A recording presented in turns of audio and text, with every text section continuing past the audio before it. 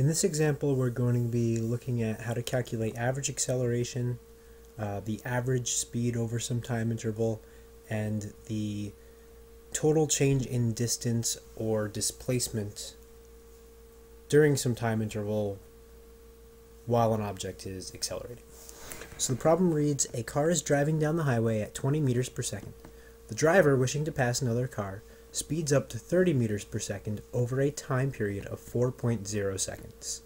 The first thing we're going to do is we're going to answer question A, which is what was the average acceleration over the 4.0 seconds? So uh, we start by writing down our givens. In this case, the first thing that we know is the initial velocity is 20.0 meters per second. We know the final velocity at the end of the 4 seconds is 30.0 meters per second. And we know the time period that this is occurring in is 4.0 seconds. Again, what we're looking for is the average acceleration. We recognize that acceleration is a change in motion. So it's a change in velocity that occurs during some time interval. In this case, a change in velocity is going to be our final velocity minus our initial velocity. And now all we have to do is we just have to plug in our values that we found earlier and solve. So in this case, we plugged in for our final velocity 30 meters per second. We plugged in for our initial velocity 20 meters per second and this all occurred over a time interval of 4.0 seconds. So what we end up with is a change in velocity of 10 meters per second over 4.0 seconds. That gives us a value of 2.5 meters per second squared. So now what we want to do is we're going to go and we're going to solve for the average speed. I'm going to plug in in my part A over here that we found 2.5 meters per second squared as our average acceleration. So for part B, all of these still hold true. And if I want to find an average velocity, we need to remember that the average velocity is simply the final velocity plus the initial velocity divided by 2. The reason that this is the average velocity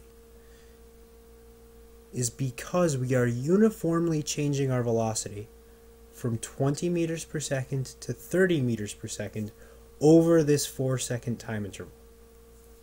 Alright, this is something that we've talked about before um, when we have a linear relationship.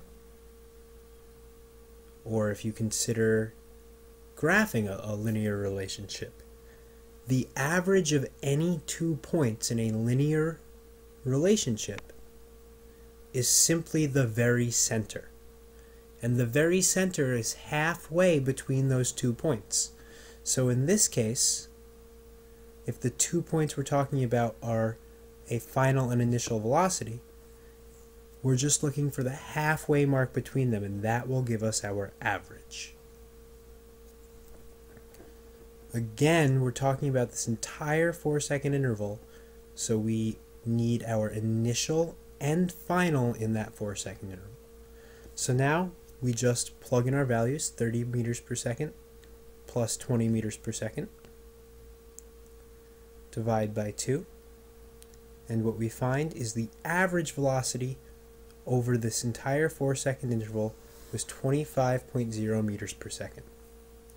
What this means is if instead of traveling at 20 meters per second and then accelerating to 30 meters per second, we could have just traveled at 25 meters per second for the entire 4 seconds and it would have been the same thing. So now we're going to go ahead and solve for the total distance the car traveled in that 4.0 seconds. Um, our average velocity, or our average speed in this case, was 25.0 meters per second. The time interval was 4 seconds, and we're looking for a distance. So we recall that average speed is equal to some distance traveled in some amount of time. We rearrange our equation, and we simply plug and chug. 25.0 meters per second times 4.0 seconds, and we find that during that 4 second time interval, we traveled a total distance of 100 meters.